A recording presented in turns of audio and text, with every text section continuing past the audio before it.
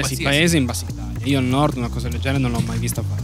Sì, è sempre Italia. Io ho detto qualsiasi paese in Italia. Non è che bisogna eh, specificare È se se- è nord sempre o sud. Italia. È sempre Italia. È sempre Italia. Eh.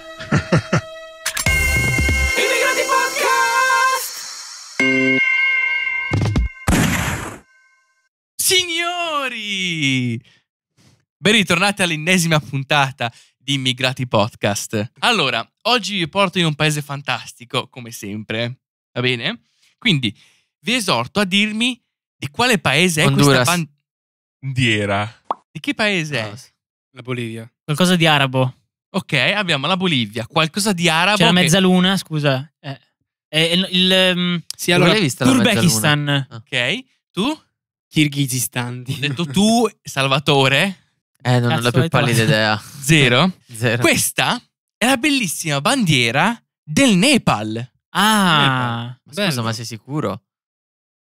Ho fatto la puntata, vedi te. ma- Eh, ma, io mi però- ricor- ma qual è quello col pallino invece? però aspetta, ma questi quando sventolano la bandiera, quindi come fanno? Cioè, è tipo È. Se non mi hai messo l'Everest, io ti bacchetto.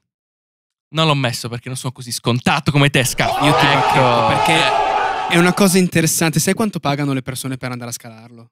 No. Ma chi se Pagano ne frega? 25.000 dollari e ci devi restare 40 giorni perché devi abituarti all'altitudine. Ci sono più di 200 morti. Sì, ho capito, ma se volevo, ma se io volevo fare i dati, Eh, lasciavate la sai qual è il puntata. problema? Che non frega nessuno. No, è interessante. Ma quindi stiamo parlando del Nepal, un bellissimo paese che si trova In Asia. In Asia. in Asia. In Asia. Esatto, ma diamo qualche dato giusto per capire il contesto in cui è immerso questo fantastico paese. Tanto, la capitale si Tando. chiama Kathmandu.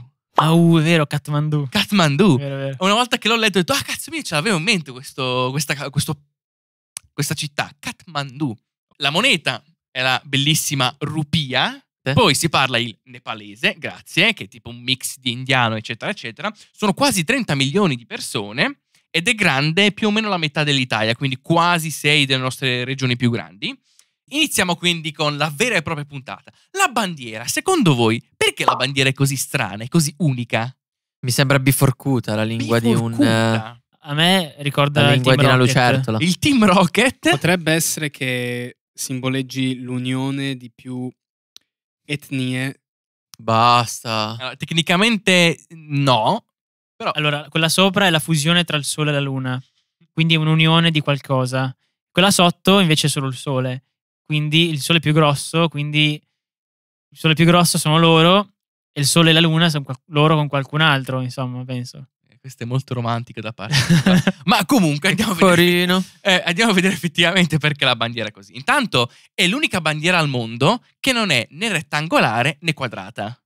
Tipo uno È- È è questa cosa. cioè. È l'unica. Se vi state chiedendo quali sono le bandiere quadrate, sono quella della Svizzera e della città del Vaticano. Ok? Tutto il resto del mondo sono eh, Rettangolari. rettangolari. Esatto, esatto, esatto.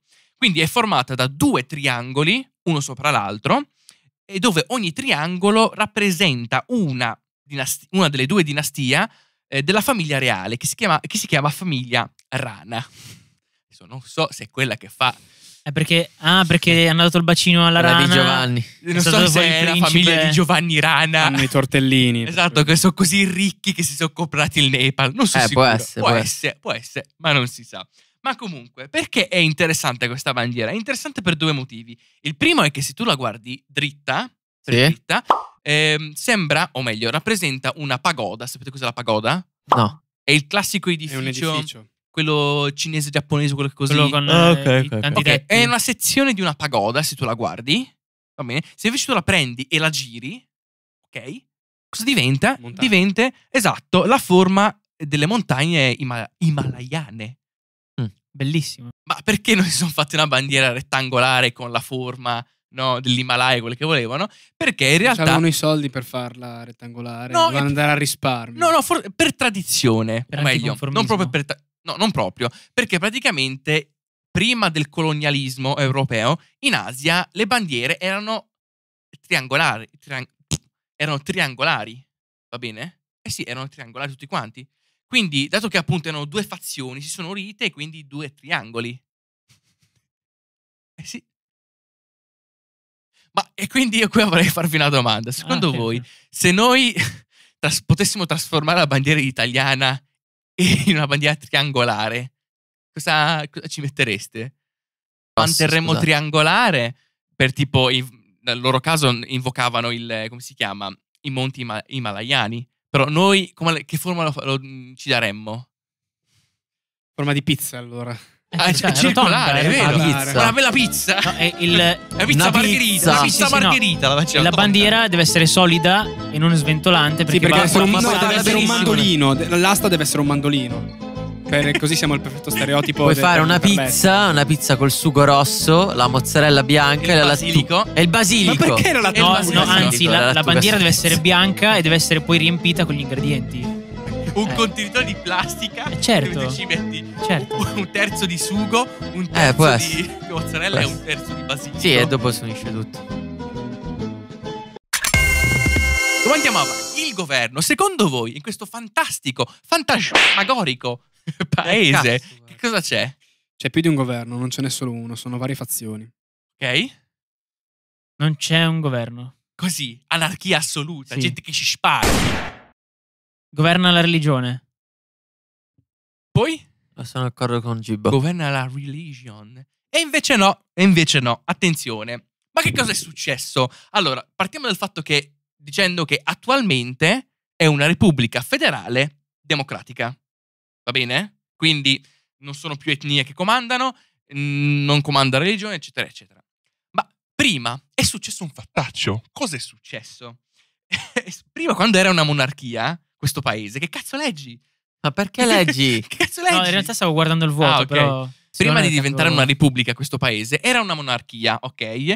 Ma cioè, c'era una famiglia reale, quindi. Ma nel primo giugno del 2001 E quindi? avvenne, avvenne il famosissimo massacro dei reali ne- nepalesi. Ma tu che cazzo ridi? Ce lo dici ridendo, ma sono morti. Ho capito, ma stiamo parlando Tu sei di storia. sadico. Non Ma, sono No, sadico. ma- Che è Eh, successo? eh, È ma successo perché lo devi questo. dire ridendo? È successo. Praticamente il principe ereditario di Pendra Dipende. poi da, do- La da qual è la- scolopendra? Esatto, dipendrà. Ha ucciso 10 dei membri della famiglia reale, incluso che e dipendrà è quello il primo a sinistra che vedete in alto, va bene? Sembra Kim. Jong-un. eh, Ha ucciso il re che si chiama Birendra, ok? Va bene?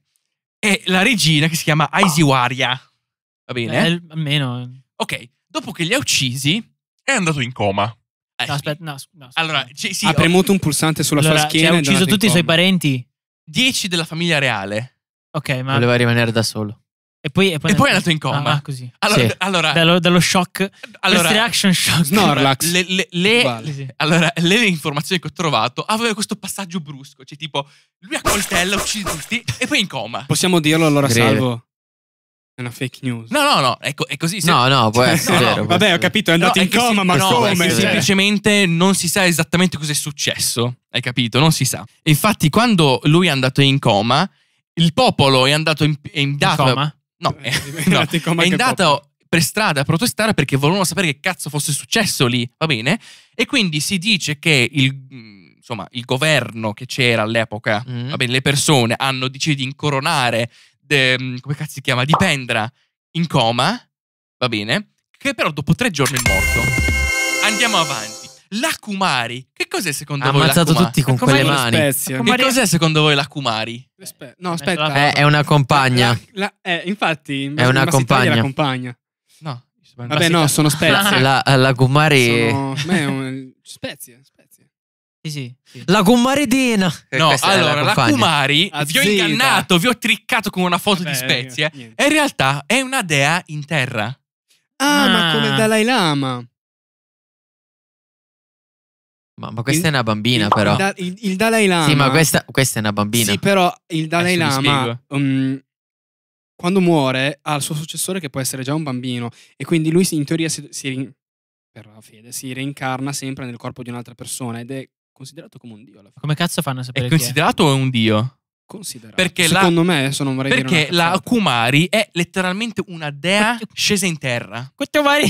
no, la Kumari è una dea scesa in terra. Perché questo? Praticamente, come i cristiani hanno Dio, va bene?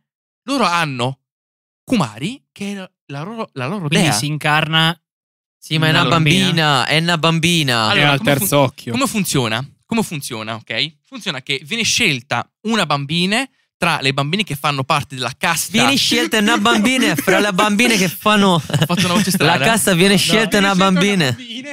Ah, scusate. Viene Perché, scel- perché viene scelta una bambina? Non ci ho fatto caso, non ci ho fatto caso. Scelgono una delle bambine che fanno parte delle caste buddiste, ok? Delle famiglie dell'etnia che si chiama Newar. Una volta che è scelta, che succede? Lei diventa letteralmente una dea, quindi smette di andare a scuola, smette di vedere i suoi parenti se non in vesti istituzionali, non tocca mai il terreno coi suoi piedi, se non, cioè, se non, non- se non- a meno che non sia dentro la sua reggia, i suoi appartamenti. Quando è che si può vedere però questa Nea? Durante una processione che viene tenuta ogni anno e che dura tre giorni a eh, Kathmandu. Dove appunto lei non può toccare il terreno e quindi, come potete vedere nella foto, viene Sì, sì, portata su questo, come si può chiamare? L'altarino. Carrettino. Esatto, questo carrettino, co- come noi vediamo, cioè adesso non stupiamoci tanto perché se vai in qualsiasi paese del- in Italia, la Madonnina te la portano ancora Col carrettino. col carrettino, no? Con le processioni lunghissime. Allora, qui è la stessa qualsiasi identità. paese in Italia, no. No, non ho detto Qualsiasi qualsiasi. paese in Bassa Italia. Io al nord una cosa del genere non l'ho mai vista fare. Sì, È sempre Italia. Io ho detto qualsiasi paese in Italia. Non è che bisogna eh, specificare È, se se- è nord sempre o sud. Italia. È sempre Italia. È sempre Italia. Eh. E quindi succede questo. Ma quando è che smette di essere una dea? Alle sue prime mestruazioni. Appena non è più pura, ok? Appena non è più pura e gli vengono le prime mestruazioni, ma che schifo. Ma questa non sa un cazzo della vita, è una bambina, gli fanno fare la. Eh, la dea, ma Ma cioè. quindi scusa, questa la E poi, prendono... e poi quando inizia a capire qualcosa, magari Esatto. non è più. Posso dire che mi sembra una stronzata. Aspetta, tipo Allora- la prendono a 5 anni, e a- tipo a 11 la buttano via? Non non è più una dea? Non è che la buttano via, praticamente. Allora, La butta- Viene Allora- sostituita, però nel Ma senso se prendi una bambina tu prendi una bambina di Non 5 nell'umido, anni, la trasformi in una dea, non le fai studiare un cazzo, non le fai vi- vivere e questa poi a 11 anni che cazzo fai nella vita, cioè? C'ha 11 Allora- anni, non ne ha 48. allora, sì, ma tipo teoria- passato 6 anni Aspetta, in, teo- eh, allora, in pratica, quando una dea smette di essere una dea, che succede? Eh, viene dismessa tranquillamente. E fa la sua vita, E viene riprende la sua vita. in un non, so- non solo, eh, gli, gli- gli- viene garantito un vitalizio a vita. Ah, amico caro.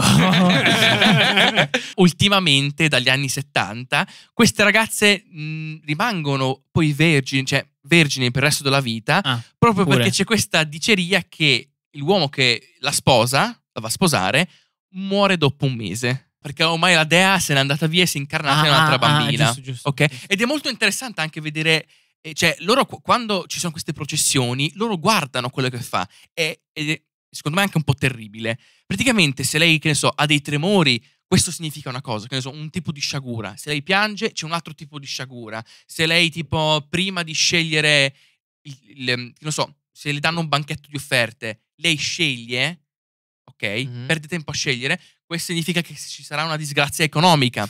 Vabbè, questa è la loro Ci fede, sta, su la questo non fede. possiamo discutere. No, però. sappiamo sta, eh, che però.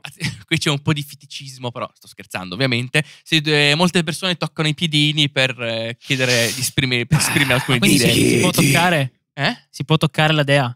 Da quello che ho letto solo i piedini. No, Ah, solo i Gibbo, piedini. a parte il fatto che sembri un pervertito, Pedofilo, perché Ma si, può, posso si può toccare? toccare. No, posso la posso toccare la- toccare. la posso toccare. posso, posso attingere alla dea? Gibbo, ma Quindi, maleducazione è soffiarsi il naso in Io, pubblico. io non posso andarci. No, tu sei già morto. veramente non posso. Non puoi soffiarti, non è molto educato. Se lo vuoi fare, lo fai piano e con discrezione.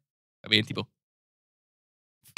Eh, beh, ok, non esce nulla. Cioè, Capito? cavi nel naso. Va bene. Però in compenso puoi lu- ruttare liberamente. Posso, posso invece di eh, soffiarmi il naso fare...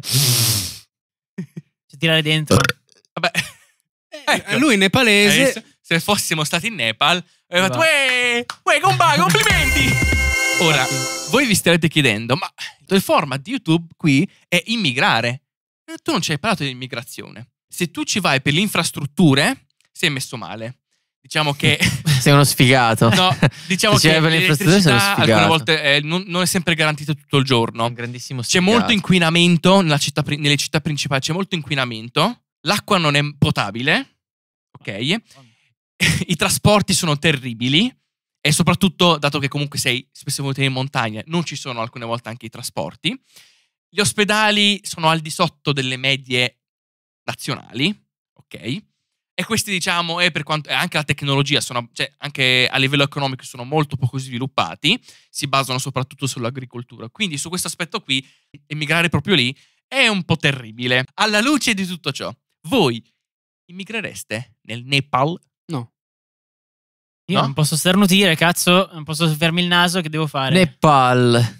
Io andrei lì non per vivere, ma per fare Per morire, io per morire. Per, la, per fare la scalata delle sette vette, ma vivere in Nepal no. Io non ci andrei, non, non mi Neanche io. interessa niente. Io andrei solamente in vacanza, ma non per immigrare. Ti dessero domani stesso un biglietto? Non No, lo so. Non lo so, magari. No, non è che lo Tireresti faccio. sopra. Lo prendo e lo rivendo. A te.